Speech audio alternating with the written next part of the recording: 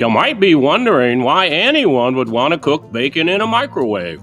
Well, here's why. It's super fast and easy, and it makes for a delicious microwave cheeseburger like the one you see on your screen. And by the way, if you'd like me to make a video on how to cook a hamburger or cheeseburger in a microwave, let me know in the comments section. The bacon that you see on your screen is the bacon that I used on the cheeseburger you just saw. The method I'm about to show you does not use paper towels. You probably would agree with me that the best tasting bacon is bacon cooked in a pan in its own grease.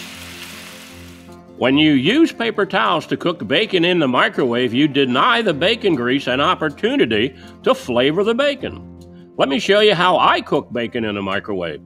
It's important to cover the bacon when cooking to eliminate bacon grease splatter.